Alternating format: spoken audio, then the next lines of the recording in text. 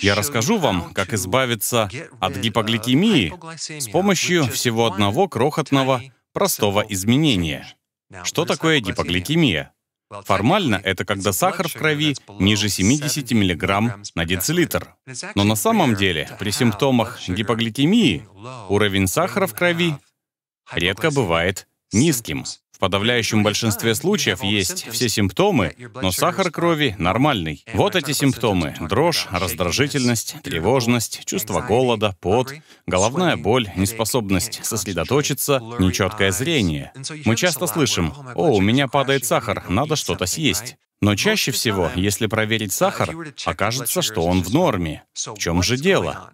Чтобы это объяснить, я воспользуюсь берушами. Если я вставлю эти беруши себе в уши, и вы будете говорить со мной, я вас не услышу. Вам придется кричать мне, чтобы я вас услышал, чтобы ваш голос преодолел это сопротивление. Итак, при гипогликемии кое-что происходит. Имеет место похожее сопротивление. Это называется инсулинорезистентность. Инсулин — это гормон, который помогает снизить уровень глюкозы в крови. И по поводу сахара в крови нужно знать, что тело руководствуется таким вот главенствующим. Не знаю, можно ли назвать это законом, но это главенствующий принцип. Очень-очень важно любой ценой поддерживать нормальный уровень сахара. И еще важнее поддерживать уровень сахара повышенным, а не пониженным, ради выживания. Тело делает все, что угодно, чтобы не допустить снижения уровня сахара в крови. Глюкоза нужна мозгу, точнее каким-то его частям, и без глюкозы нам не выжить. Инсулин — главный гормон, снижающий уровень глюкозы, если он слишком высокий после еды. Инсулин стимулирует два фактора это углеводы, которые мы едим, и степень их чистоты, степень концентрации сахара, а также частота приемов пищи. Если вы часто едите, часто перекусываете, всплески инсулина следуют один за другим. И проблема в том, что из-за постоянных хронических всплесков инсулина со временем развивается так называемая инсулинорезистентность. Инсулин уже не так хорошо снижает уровень сахара. Это похоже на те самые беруши в ушах. Если бы у меня в ушах были беруши, и вы говорили со мной, вам пришлось бы буквально кричать мне очень громко, чтобы я хоть что-то услышал. Это и происходит при гипогликемии. Это ситуация, когда уровень сахара в крови, как правило, нормальный, но уровень инсулина высокий, и он пытается преодолеть сопротивление, чтобы хоть как-то контролировать ситуацию и снизить высокий уровень глюкозы в крови. Тело компенсирует это сопротивление, чтобы стабилизировать сахар. Ведь если мы едим углеводы, Сахар в крови повышается, поступает инсулин и снижает его. Но низкий уровень сахара недопустим, поэтому тело развивает устойчивость к тому фактору, который стремится снизить уровень глюкозы. И вот что ненормально во всем этом. Тело не рассчитано на то, чтобы съедать столько углеводов, сколько мы съедаем. Это и есть глубинная причина этой проблемы. Уровень глюкозы в крови может быть в норме, но поскольку инсулин управляет усвоением глюкозы, у человека, скорее всего, очень мало глюкозы в самих клетках. Иначе говоря, усвоение глюкозы клетками зависит от инсулина. И чем сильнее инсулинорезистентность, тем меньше глюкозы в клетках. А если уровень глюкозы в клетках низкий, я даже не знаю, есть ли способ его определить, будут симптомы гипогликемии при нормальном уровне глюкозы в крови и, на фоне этого, высоком инсулине. В медицине это называется так — гиперинсулинемическая гипогликемия. Высокий уровень инсулина при низком сахаре. Гипо означает внизу гликемия, сахар крови. Это один из самых распространенных типов гипогликемии, особенно у детей и младенцев. Так вот, худшее, что можно сделать при гипогликемии, это продолжать есть понемногу пусть даже белковую пищу, в попытке исправить ситуацию. Или, что еще хуже, есть сахар, чтобы повысить уровень глюкозы в крови. Это хуже всего, ведь это еще больше стимулирует инсулин, все больше усугубляя ситуацию. Ненадолго станет лучше, но со временем будет все хуже.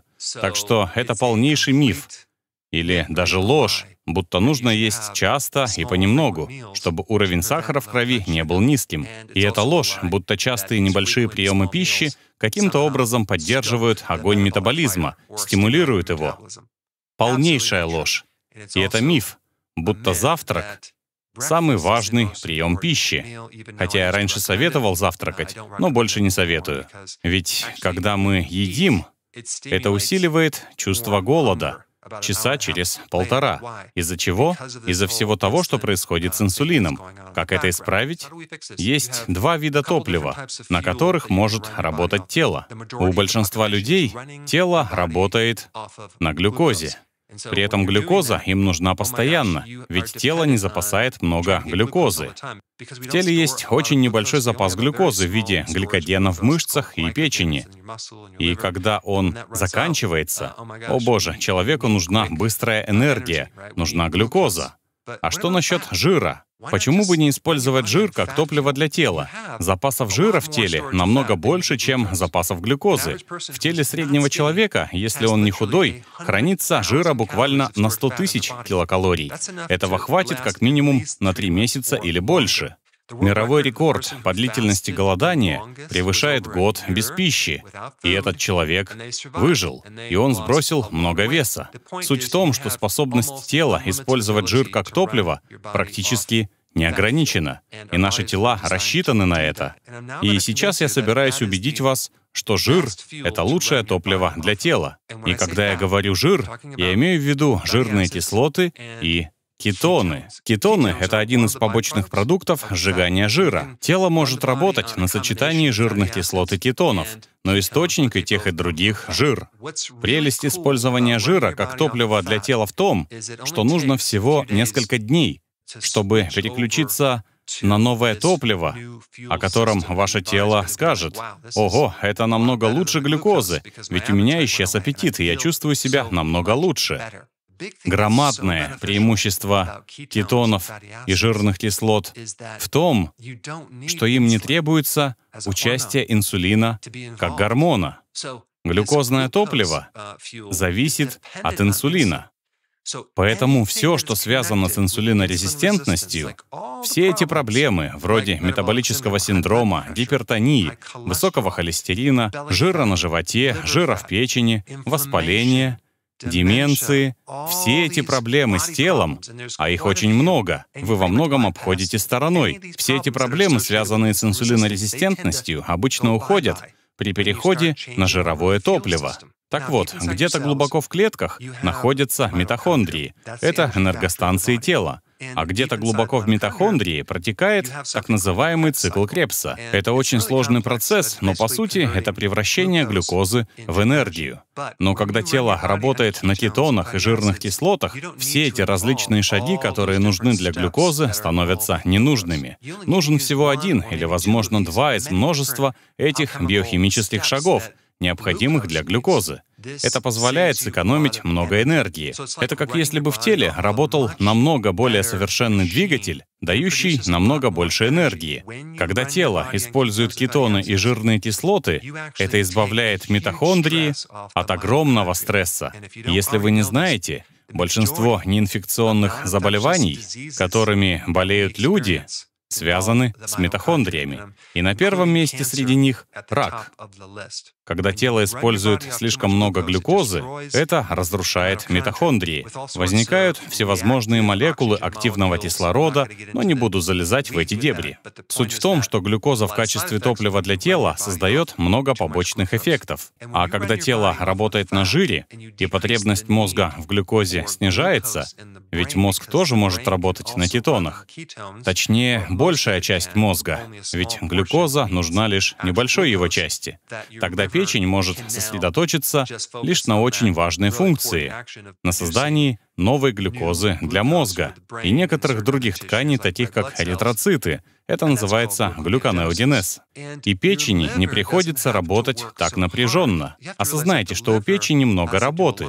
У нее около 500 различных функций. Далее, улучшается функция митохондрий. Митохондрии получают больше кислорода.